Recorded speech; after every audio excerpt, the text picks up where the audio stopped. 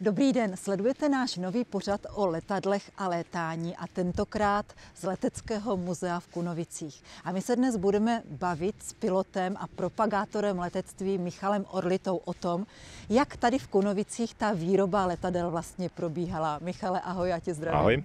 Tak jak to vlastně tady vzniklo v těch eh, v Kunovicích? Kdy jste tady začali vyrábět letadla? Tak Kunovicích vlastně továrnu začala budovat eh, pražská letecká firma Avia a začali ji budovat ve 30. letech. Důvod byl velice jednoduchý, protože tehdy hrozilo vlastně nebezpečí od, Ně- od Německa a byla snaha odsunout výrobu letadel z Prahy dál od Německa. Takže vybrali vlastně Kunovice a bohužel, než došlo k tomu, že, výrobu, že tu výrobu tady nastartovali, tak vlastně proběhl Anšlus Rakouska a tím se Kunovice ocitly blíž německé říši, než eh, byla vlastně továrna v Praze. Co se teda stalo potom? Takže když už tu továrnu začali budovat, mimochodem chtěli tady poblíž stavět i motorárnu, a tak z té továrny, která měla letadla vyrábět, vlastně udělali pouze opravnu na letadla. A tato opravna vlastně začala fungovat ještě před válkou a v průběhu války dále pokračovaly v opravách samozřejmě pod taktovkou německé vlády. Jaká letadla se tady v té době opravovala? Byly to, pokud vím, tak to byl třeba i Focke-Wulf, který tady se opravoval? Tak já nevím přesně, které z letadel se tady opravovaly, já bych řekl, že opravovali, co bylo potřeba. Jo, určitě, určitě tady se opravovali Aráda, jo, určitě nějaké Messerschmitty, ale úplně přesně jaké nevím, netuším. Co bylo po té druhé světové válce? Já jsem se dočetla, že Němci se pokusili dokonce na konci války eh, tu fabriku zničit. Pak nevím přesně, jestli o co se pokusili nebo nepokoušeli. Samozřejmě tady probíhaly ze strany česk, českých zaměstnanců, probíhaly různé sabotáže a podobné věci. Jo, nevím přesně, co probíhalo tady, nevím, jak přesně si vyloženě chtěli fabriku zničit, no ale tak škody určitě napáchali. No a vlastně po druhé válce, že války jsou vždycky období rozvoje techniky. Jo, to je, to je, bohužel to tak je. No a po druhé válce vlastně tady se začala vyrábět letadla a e, Prvním letadlem vyráběným v Konovicích byl Junák. Jo, co už se dneska moc neví, všichni říkají C11, C11, ale vlastně to první letadlo byl, byl dřevěný Junák a to se vyrábělo v té továrně, která je tady vlastně kousek za náma. Je to to, čemu se později začalo říkat starý závod. Co dál nastalo? Kdy začala taková ta zlatá eh, léta letectví v Kunovicích? Tak to, to se vlastně dostáváme do 50. let, kdy eh, první, let, první jako větší letadlo, které se vyrábělo v té nové továrně, která je vlastně na západní straně letiště dneska, tak to vlastně tomu se začal říkat nový závod, pochopitelně.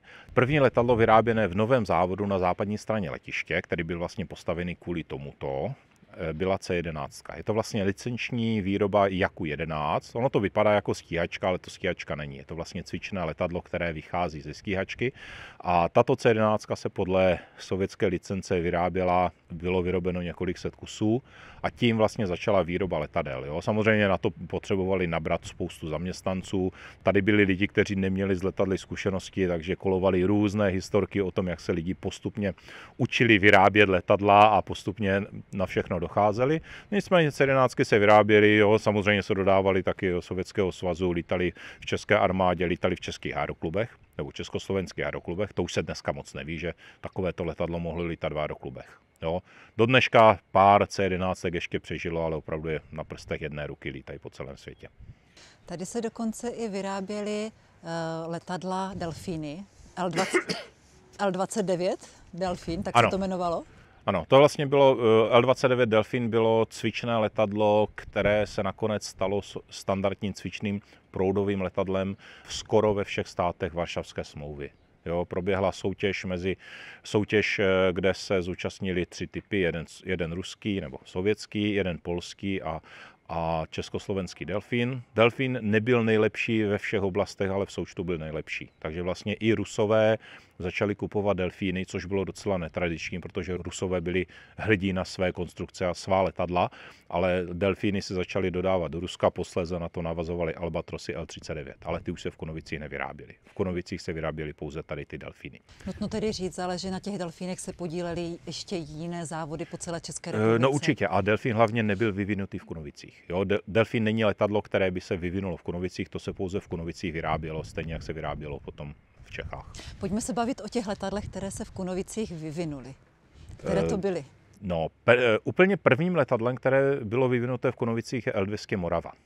Jo? Zase není to úplně první, co se vyrábělo, to už jsme si řekli, že byla C11, ale první letadlo, které vzniklo u moravských konstruktorů, bylo L200 Morava to vlastně pětimístné aerotaxi, pilot plus čtyři cestující, dva motory. Začalo se vyrábět od 50. let, vyrábělo se ještě vlastně do 60. let, jo, několik set kusů. Zase zákazníkem, velkým zákazníkem byl sovětský Aeroflot, lítali, lítali vlastně po Sovětském svazu. Nicméně ex, proběhli export do různých jiných zemí. Asi ta dvoustovka nedostala takového rozšíření, jak později 410, ale lítala, lítala ve spoustě okolních zemí. Ono to bylo dvoumotorové letadlo. Eh, proč vlastně hned na poprvé se rozhodli ti konstruktéři pro to dvoumotorové? Eh, víš to? Tak, no, že se rozhodli, ono v podstatě nic jiného nezbylo. Pokud chceš udělat letadlo, které má být nějakým způsobem bezpečné, tak potřebuje dva motory, protože prostě motor je technika, může se pokazit, je to věc, která se stává výjimečně, mně se to teda už jednou za letu stalo, doufám, že už mám, že už mám pokoj od toho, No a když máš dvoumotorové letadlo, tak vlastně i po vysazení jednoho motoru to dvoumotorové letadlo dál může pokračovat v letu. Je to samozřejmě extrémní případ, je to věc, která není úplně jednoduchá z pilotážního hlediska, ale je to letadlo schopné dál letět. Jo? To je takové to přesvědčení, které je, že když se letadlu pokazí jeden motor, tak letadlo spadne na zem. Jo? To je to, co se někde dozvíš v bulvárních plácích. Ne, prostě pokud se letadlu pokazí jeden motor, tak letadlo dál na ten druhý motor letí. Takže vzhledem k tomu, že to mělo být aerotaxi, tak proto, aby to Přesně bylo tak. bezpečné. Eh, pojďme k dalším typům letadla, protože konkrétně k té Moravě se vrátíme v samostatném pořadu. Mm-hmm. No, co bylo ještě zajímavé, že vlastně, eh, než se začala vyrábět Morava, tak se ještě v Kunovicích vyrábělo aerotaxi Aero 45S a Aero 145. Jo, což vlastně byl zase výrobek skonstruovaný v Praze, ale výroba byla předána do Kunovic. Je velice zajímavé, že vlastně ta poslední verze Aero 145 byla vyvinutá už v Konovicích a vyvíjela se až poté, co konstruktéři udělali tu dvoustovku. Protože ta výroba dvoustovky trvala díl, takže oni ještě honem narychlo udělali zlepšenou verzi aerovky, ta se vyráběla a postupně výroba vlastně, no to se prolínalo, že se vyráběly ještě aerovky a do toho už se vyráběly dvoustovky.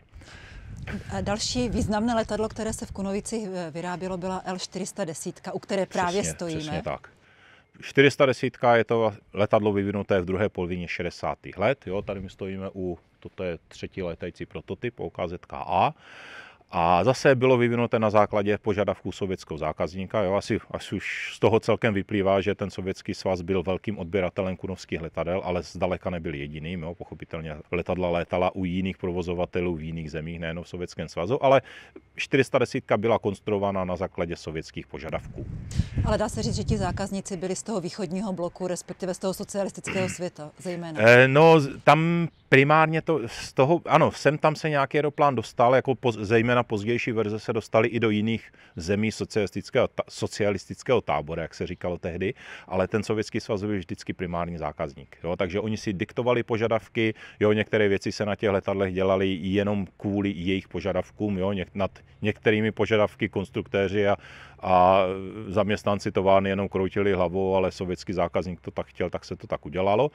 Mělo to pozitivní efekt v jedné věci, že se hodně hlídala kvalita. Že vlastně jakékoliv problémy, které se objevily v provozu, fabrika byla nucená řešit. Jo, Rusové to tehdy jako eh, centralizovali, takže byla spou- se povedlo takto odbourat spoustu provozních problémů, které by jinak trvalo odbourat roky a tak to vlastně byla, byla továrna to donucena opravit. Tím pádem taky ta spolehlivost těch 410 eh, eh, v těch 80. 90. letech byla na vynikající úrovni.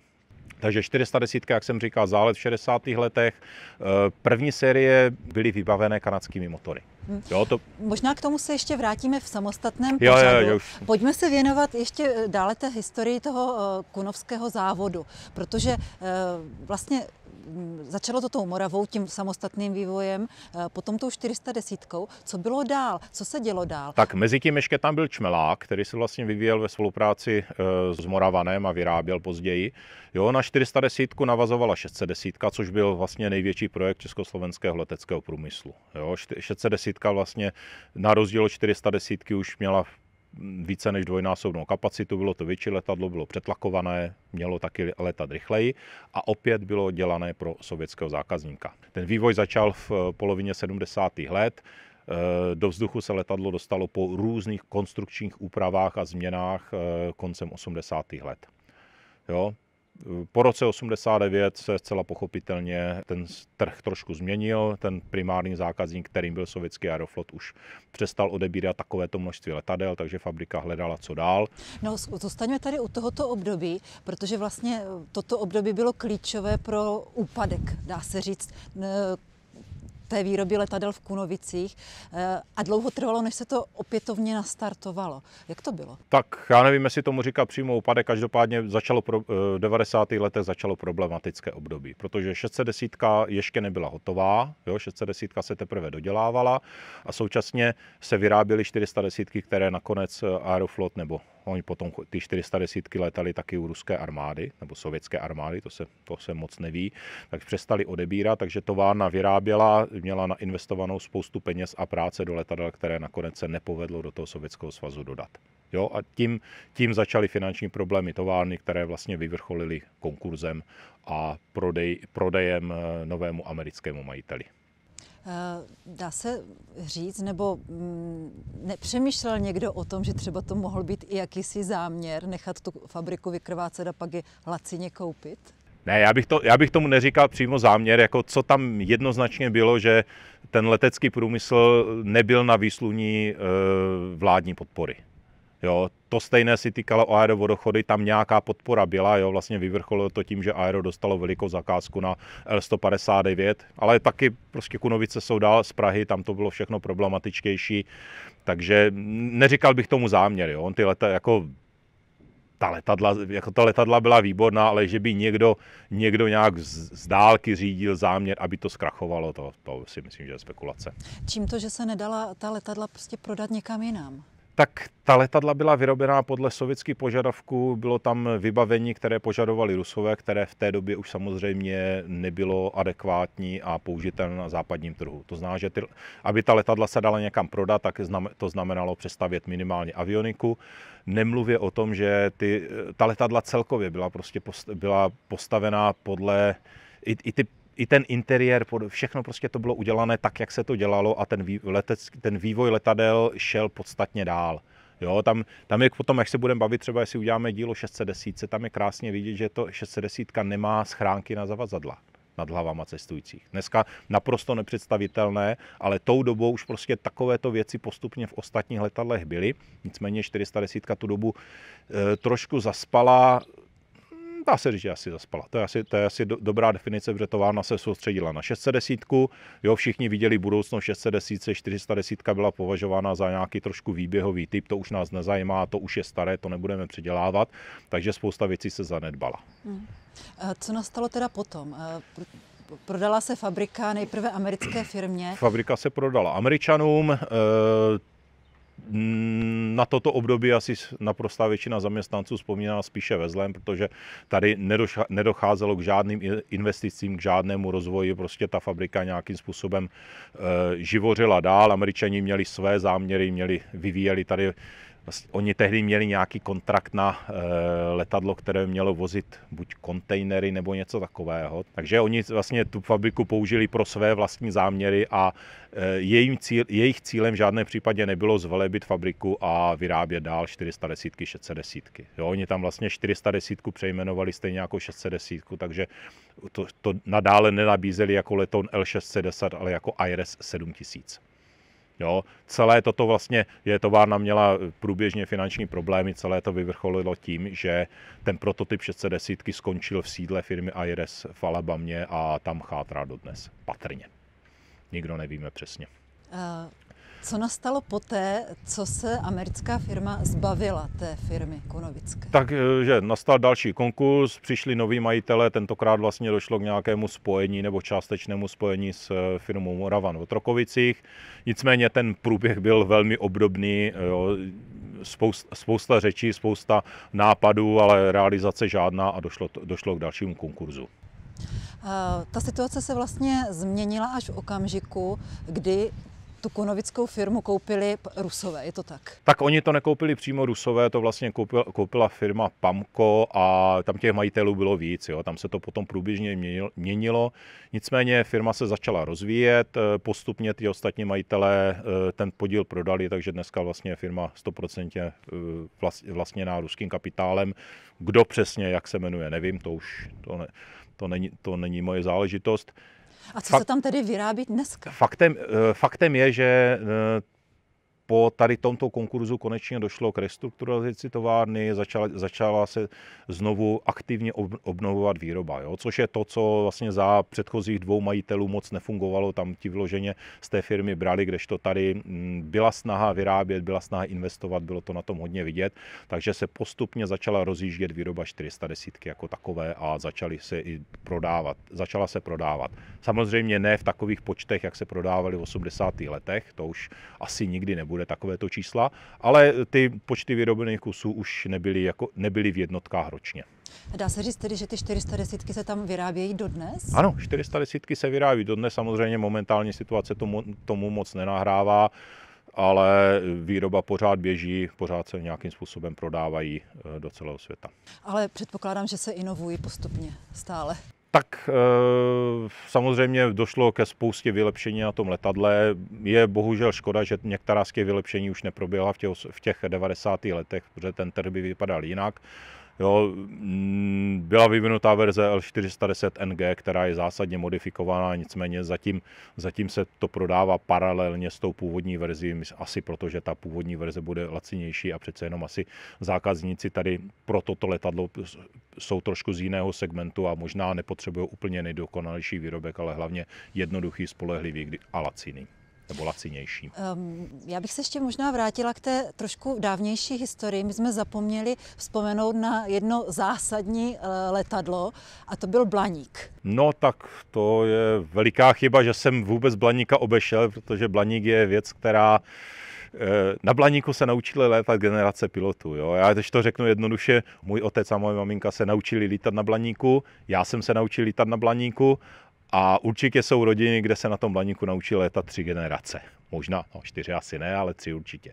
Jo, blaník byl vyvinutý v 50. letech v Praze, takže není to dílo kunovských konstruktérů, ale výroba byla předána do Kunovic a vlastně od konce 50. let se vyráběl blaník s různými peripetiemi až do začátku 80. let. Jo, bylo vyrobeny 2600 kusů, což je strašlivé číslo. Zase spousta z nich dodaných do Sovětského svazu.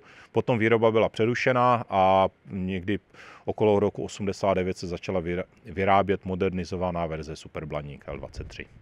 Dámy a pánové, dnes jsme se bavili o historii letectví v Kunovicích a v dalším díle se podíváme na jednotlivá konkrétní letadla, která se tady v Kunovicích vyrobily. Díky Michale, že jsi přijal pozvání do našeho pořadu. Není to dneska jednoduché na to, že duben je docela zima, ale stojí to za to.